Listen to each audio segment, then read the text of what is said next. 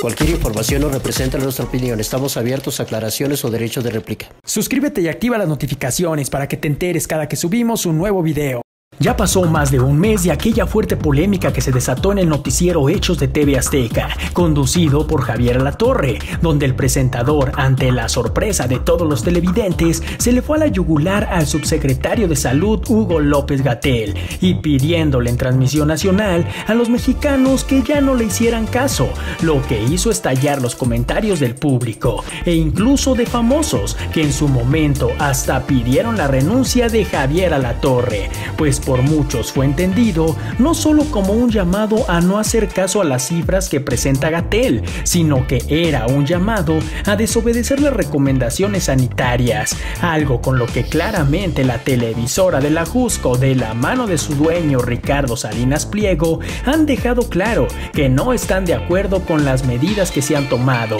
y para ello seguir trabajando aún en contingencia y aún con los contagios dentro de sus empresas, como se dio en el caso de Electra. Era más importante seguir ganando dinero para el millonario empresario que acatar las medidas de las autoridades de salud. Ese llamado de Javier Alatorre provocó que su imagen se viera dañada como nunca antes y las críticas que recibió no las había recibido en toda su carrera. Esto se creyó que podría afectar su credibilidad como periodista y que el público podría optar por dejar de ver su noticiero, pero aún sabiendo todo eso, TV Azteca tomó la decisión de desatar la polémica e incluso días después, a la torre, notablemente incómodo y mal encarado, entrevistó a Hugo López Gatel como si trataran de limar asperezas, pero el daño ya estaba hecho y el rating así lo demuestra, pues como se dijo al inicio de esta nota, a más de un mes de la polémica,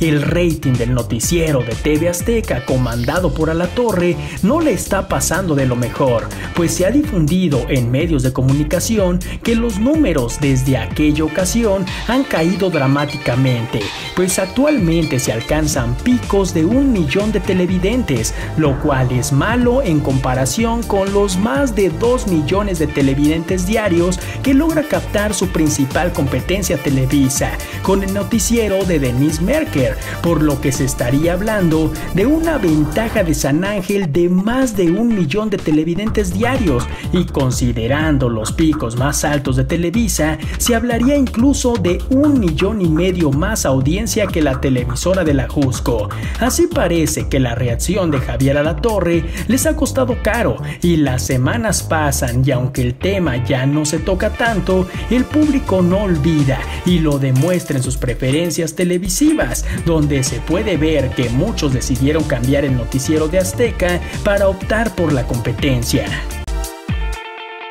Si te gustó este video, dale like y compartir, ya que todos los días te traeremos el alboroto de los famosos.